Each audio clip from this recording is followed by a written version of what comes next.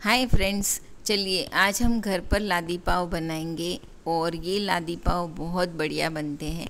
Climate अभी बहुत ख़राब चल रहा है तो ऐसे में बेकरी से हम ला नहीं सकते हैं। तो घर पर फ्रेश बनाएँ और फ्रेश खाएँ। ये रेसिपी बनाते वक्त अगर आपको कोई प्रॉब्लम आती है तो मुझे कमेंट सेक्शन में बताएँ, मैं ज़रूर सॉल्व करूँगी। तो एक बोल के अंदर हमने दो टीस्पून की जितनी शक्कर डाली है, दो टीस्पून के जितना इंस्टेंट ड्राई ईस्ट डाला है। और इसे डाल के हम इसमें एक कप के जितना गुनगुना दूध डालेंगे। तो दूध का गुनगुना होना बहुत ज़रूरी है तो ही ईस्ट एक्टिवेट होगा। और इसे मिक्स करके 10 से 15 मिनट के लिए हमें साइड में रख देना है। तो 10-15 मिनट के बाद में ये मिक्सचर झाग वाला हो जाएगा। इसके अंदर थोड़े झाग बन जाएँगे। इसका मतलब कि ईस्ट एक्टिवेट हो गया है। और अगर ऐसा ना हो तो आप ये मिक्सचर फिर से बनाएँ और ईस्ट नया यूज़ करें। अब एक छलनी रखेंगे एक बोल के ऊपर और डेढ़ कप के जितना हम मैदा डालेंगे और डेढ़ कप के जितना हम गेहूँ का आटा डालेंगे। फ्रेंड्स, मैंने यहाँ पे सिर्फ़ मैदा से कैसे बनाना है पाव, वो भी रेसिपी शेयर की हुई है। आपको एंड स्क्रीन पे या आई बटन में रेसिपी मिल जाएगी। अब यहाँ पे हम स्वाद अनुसार नमक डालेंगे और इसको हम छान लेंगे। छानने से इसमें एरेशन फॉर्म होता है तो छान के ही आटा लें और ये जो बड़ा बचा है, इसे हम डिस्कार्ड कर देंगे। तो अब ईस्ट चेक कर लेंगे। तो ये देखिए, इस तरीके से ये झाग आ गए हैं इसके ऊपर। इसका मतलब कि ईस्ट बहुत अच्छे से एक्टिवेट हुआ है। अब इस मिक्सचर को हम आटे में डाल देंगे और हमें आटा गूंदना है। तो आटा गूंदते वक्त आपको ये ध्यान रखना है कि आटा नरम गूंदना है। जैसे जो रोटी का आटा होता है, उससे भी ये आटा नरम होता है।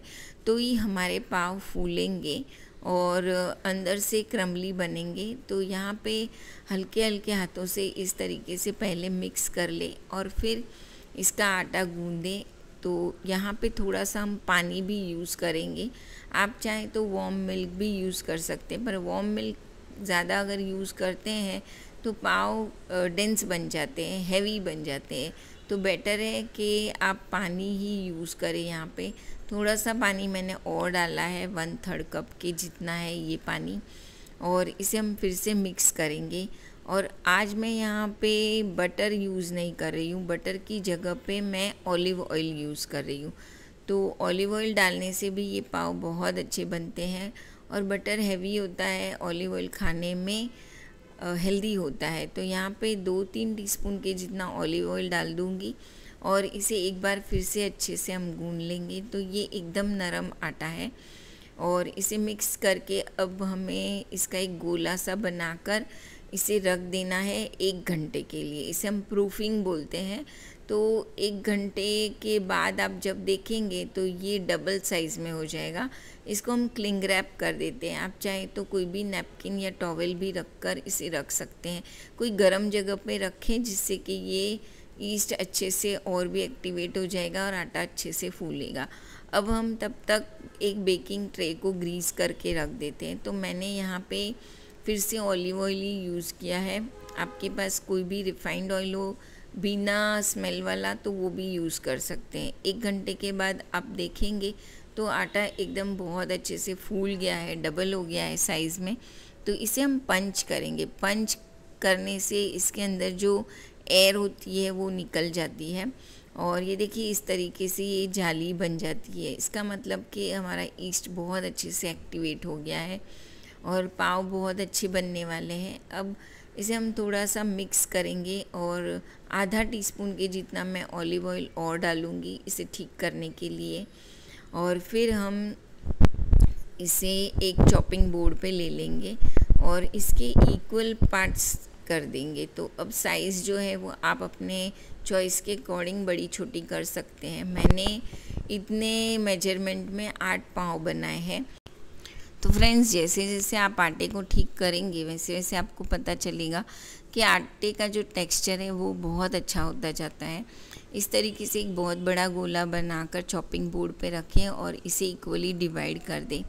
और फिर हम एक एक लोई बनाएँगे इसकी। तो लोई जो है, वो कैसे बनानी है, इसको कैसे फोल्ड करना है, वो मैं बताऊँगी आगे। तो आप रेसिपी को पूरा देखिएगा। बहुत टिप्स एंड ट्रिक्स होते हैं तो ही पाव अच्छे बनते हैं। तो एक पोर्शन लेके हम इस तरीके से इसके जो साइड्स हैं, वो अंदर की तरफ़ टक करते जाएँगे। तो ये पाव बेक होते समय खुलेंगे नहीं। तो इस तरीके से अंदर टक करें इसको और इसको राउंड बना दें। राउंड बनाने के बाद हम इसे बेकिंग ट्रे में रखेंगे, जो हमने ग्रीस की थी।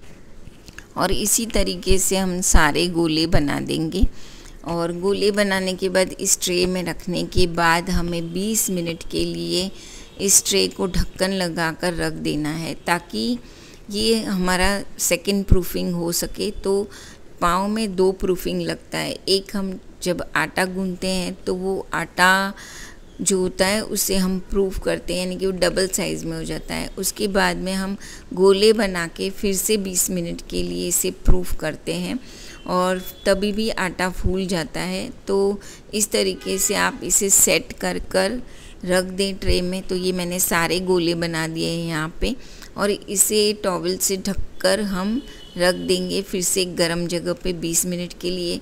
20 मिनट के बाद आप देखेंगे ये बहुत अच्छे से फूल गए हैं तो अब यहाँ पे हम मिल्क वॉश करेंगे। अगर आप एग खाते हैं तो एग वॉश भी कर सकते हैं। मैं यहाँ पे मिल्क वॉश कर रही हूँ। इससे पाव के ऊपर जो कलर आता है ब्राउनिश वो बहुत अच्छा आता है।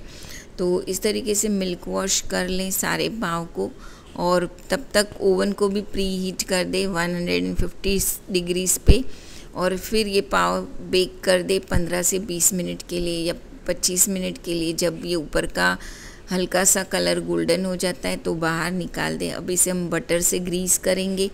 पाव को तो देखिए कितने अच्छे बेक हुए हैं ये। और इसके ऊपर हम एक गीला नैपकिन रखेंगे ताकि जो पाव है वो नरम हो जाए थोड़े से।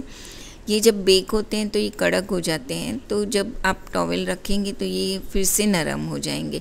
अब मैं आपको बता रही हूँ टेक्सचर इसका तो फ्रेंड्स आपको ये रेसिपी कैसी लगी, अच्छी लगी हो तो फैमिली फ्रेंड्स में शेयर कीजिए। और अगर पसंद आई हो तो मेरे चैनल को लाइक करें शेयर करें सब्सक्राइब करें। ऐसी ही रेसिपीज़ मैं लेके आती रहूँगी आपके साथ। तो देखिए इसका टेक्सचर कितना बढ़िया बना है। और ये खाने में उतने ही लाजवाब है। तो इस रेसिपी को आप ज़रूर ट्राई करें और मुझे कमेंट सेक्शन में बताएँ, आपको ये रेसिपी कैसी लगी? मिलती हूँ हेल्दी न्यू रेसिपीज़ के साथ। ये कट करके भी आपको मैं बता रही हूँ कि ये पाव देखिए अंदर से कितनी बढ़िया इसकी जाली बनी है। घर पर पाव बहुत अच्छे बनते हैं, एकदम हाइजीनिक तरीके से हम बनाते हैं। और खाने में भी बहुत टेस्टी बनते हैं। आप चाहे तो इस रेसिपी को डबल कर सकते हैं। मैंने यहाँ पे ये पाव पाव भाजी के साथ सर्व किए थे। आप चाहे तो वड़ा पाव के साथ भी ये पाव बना सकते हैं। तो फ्रेंड्स मिलती हूँ। Thank you take care goodbye